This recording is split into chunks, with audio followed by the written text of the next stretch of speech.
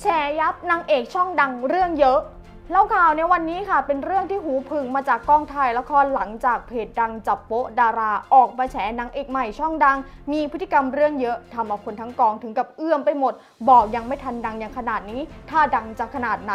โดยข้อความค่ะมีการระบุค่ะว่าวายอีดอกแรงอีกนะคะ จู่ๆแม่นาตาชาโรมานอฟคาบข่าวมาพ่นใส่หูกรูว่ามีนางเอกใหม่ช่องดังคนหนึ่งเริ่มเรื่องเยอะ เกินเบอร์ทำเอาคนในกองเอื้อมละอา แถมคุณแม่ของชี ก็สวมวิญญาณแม่สุดเยอะแบบในละคร โนนก็ไม่เอา นี่ก็ไม่เอา สเปรย์ยี่ห้อนี้อย่ามาฉีดใส่หน้าลูกฉันนะ แป้งยี่ห้อนี้ลูกฉันไม่ใช้ค่ะทำเอาช่างหน้าช่างผมมองบนกันเอื้อมสุดๆ ค่ะ นี่ยังไม่ทันดังยังขนาดนี้ ถ้าดังจะขนาดไหน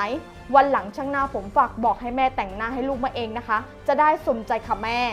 งานนี้ค่ะทำเอาชาวเน็ตหลายคนเข้ามาคอมเมนต์กันเป็นจำนวนมาก โดยบอกนะคะว่าที่เคยเป็นนางงามไหมอะคะ ดาราใหม่ช่องดังนึกออกอยู่สองคน แต่คนหนึงดังมากนะ ช่องน้อยสีปะถ้าใช่ก็พอจะเดาออกอยู่